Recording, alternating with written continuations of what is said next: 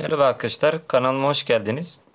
Bugün sizlerle Chrome kullanırken karşımıza gelen hatanın çözümünden bahsedeceğim. Bu hata nedir? Ekranda gördüğünüz başka bir uygulama Chrome uygulamasının üzerinde gösteriliyor hatası veya bu site izninizi isteyemiyor şeklindeki hatayla karşılaşıyorsanız bunun iki nedeni vardır. Birinci nedeni yeni yüklediğimiz uygulamanın Chrome üzerinde gösterilme sebebidir. E, bundan kurtulmak için üzerinde ve üstünde gösterilen program iznini kapatmamız gerekmektedir.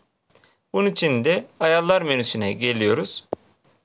Ayarlar menüsüne gelince e, ayarlarda arama bölümü var. Oraya üzerinde şeklinde aradığınızda, üzerinde göster şeklinde aradığınızda karşımıza gelecektir. Bakalım ne geldi? Diğer uygulamaların üzerinde göster şeklinde. E, bu Xiaomi telefon olduğundan dolayı üzerinde göster olacaktır. Ama e, eğer farklı bir telefonunda ise üstünde göster şeklinde olacaktır. Oraya giriyoruz. Oraya girdikten sonra diğer uygulamalar üzerinde göster menüsü var. Oraya tıklıyoruz.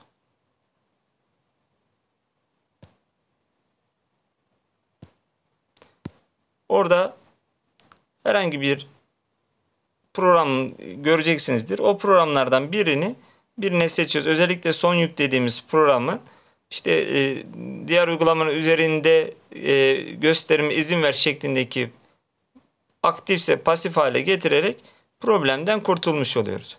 Sonra yapacağımız işlem e, o artık o problemle bir daha karşılaşmayacağız. O hatayla karşılaşmayacağız.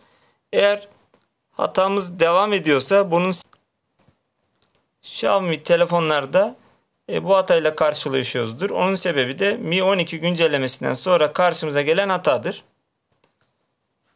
Bu sorunu çözmek için ekran ayarlardan ekran bölümüne geliyoruz.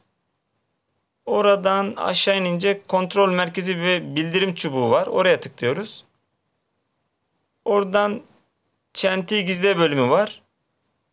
Ee, evet burada Mi 12'den sonra böyle bir ayar menüsü geldi. Burada e, eğer bunlarla oynadıysanız e, bu hatayla da mutlaka karşılaşıyorsunuzdur.